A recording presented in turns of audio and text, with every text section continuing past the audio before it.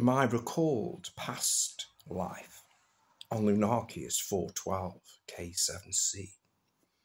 It's mesmerizing, mystical, terrifying, tempestuous, bestial, bold, and most of all mystifying. If you could only witness the majestic mystery of the life affirming sounds, smells, sights, I'm alive as I plod my way through this delectable divinity reminiscent of a vexed virgin ploughing his first field. This is what is being affirmed as you experience an incarnation on Lunarkius 412 K7c. The daily palette of colour your eagling eyes are assaulted with is frankly beyond belief. This colour supernova makes your eyes glint, strafe, looking for some respite from the sensual overload, even some relief.